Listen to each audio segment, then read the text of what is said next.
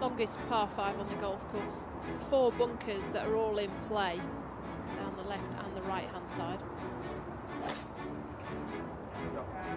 Nothing in data as straight as that. Cheering on Europe as we watch Jin Young.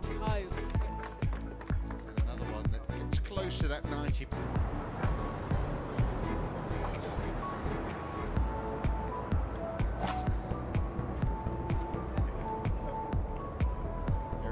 There is of room.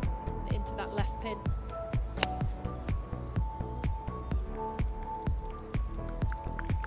Nice eight iron there.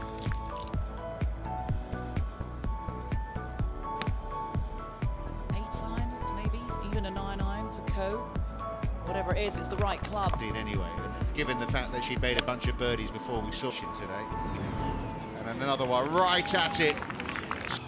Missed the green in two.